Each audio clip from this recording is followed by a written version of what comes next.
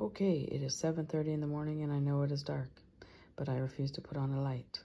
Um, I'm going to sit here and enjoy my coffee, and I am allowing myself to have coffee with the stuff in it. There is a tablespoon of Jordan Skinny syrup, a tablespoon of half and half, and a tablespoon of Coffee Mate um, French vanilla, the zero sugar.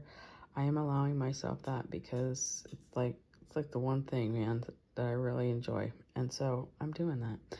Um, as far as my intestines go, they're feeling much better. I'm about 75% um, feeling better from going back um, to carnivore.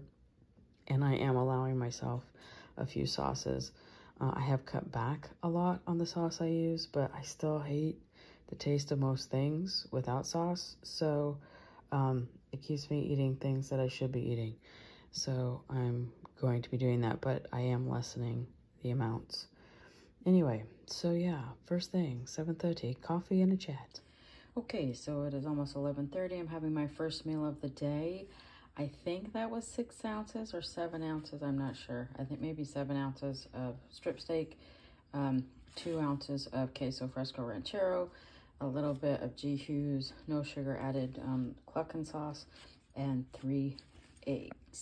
Okay, so it's 2.30. This is my second meal. I'm having two ounces of Philadelphia cream cheese and six ounces of shrimp. Um, for more variety, I've been um, trying to add more seafood. So I cooked up a big um, thing of shrimp and I have been eating on it every day. And that has been helping me feel a little bit better, I think.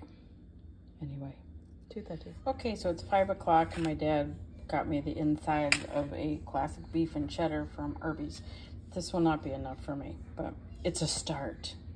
We'll see what I eat later on. Okay, so after the drive-through mishap, because I was supposed to get a half pound, but that's okay. Uh, I am having pork rinds, cheese, and Laughing Cow cheese. So I've had way too much dairy today. Um, so tomorrow I will try not to have as much. But anyway, this is the last thing I'm going to eat today, I'm sure. If not, I'll let you know. But otherwise, I will catch you on my next one.